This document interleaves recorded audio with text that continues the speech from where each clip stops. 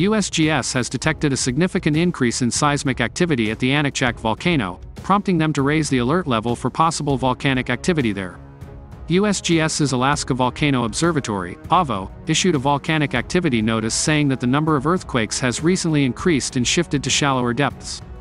Due to this increased activity to above background levels, the AVO raised the aviation color code to yellow and the volcano alert level to advisory.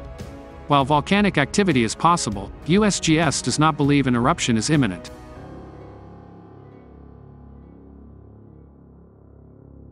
In the US, the USGS and Volcano Observatory units are responsible for issuing aviation codes and volcanic activity alert levels.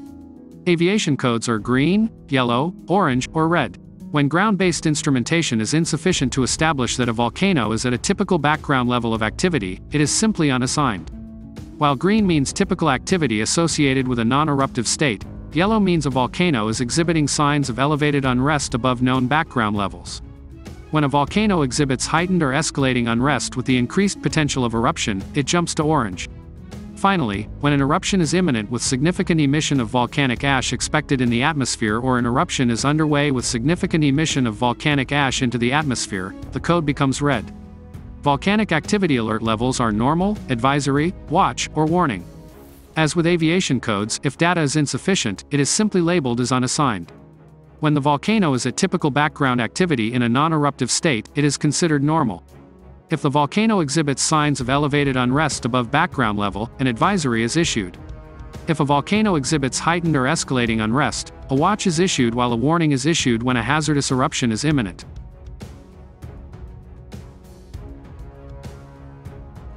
USGS says beyond this seismic activity, there have been no signs of unrest in other monitoring data. AVO wrote in their volcanic activity notice, there is no indication that an eruption of Aniakchak is imminent, or that one will occur.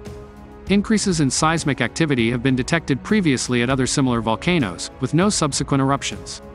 We expect additional shallow seismicity and other signs of unrest, such as gas emissions, elevated surface temperatures, and surface deformation to precede any future eruption, if one were to occur.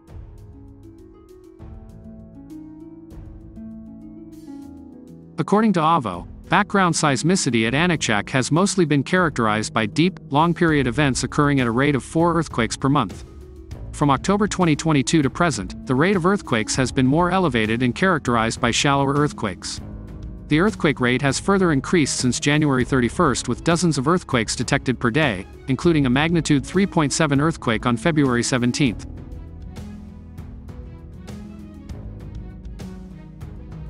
Within the United States, the USGS tracks 169 potentially active volcanoes, most of which are in Alaska. Alaska is home to many volcanoes, though there are more than 130 volcanoes and volcanic fields which have been active within the geologically young last 2 million years. 50 have been active since the mid 1700s, and AVO studies those too. Another place famous for its volcanoes is Hawaii on the big island of Hawaii, Kilauea, Mauna Loa, and Hualalai are considered active and potential threats, However, only one is erupting today Kilauea. The US is only home to a fraction of the world's volcanoes. According to USGS, there are normally around two dozen erupting volcanoes around the world at any given time. The USGS says there are about 1,500 potentially active volcanoes worldwide, with about 500 of the 1,500 erupting in modern historical times.